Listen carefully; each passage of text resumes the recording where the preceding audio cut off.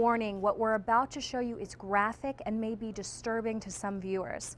Seven Americans were killed in a cargo airplane crash in Afghanistan, and the horrific fall and explosion is surfacing in a shocking YouTube video. USA Today is still working to verify it. I'm Shannon Ray Green, and this is USA Now for May 1st, 2013. The Boeing 747-400 had taken off from Bagram Airfield in Afghanistan when the plane stalled and hung in the air turned to the right and crashed into an enormous fireball. Six of the civilians were from Michigan, one is from Louisville, Kentucky. Families are mourning the loss of the seven men who all worked for National Air Cargo. The unverified dashboard cam video of the crash has more than 2 million views already on YouTube. We can't yet say that the video is authentic. The driver backs up as the plane hits the ground. Then the car goes toward the crash site with thick black smoke billowing from the field.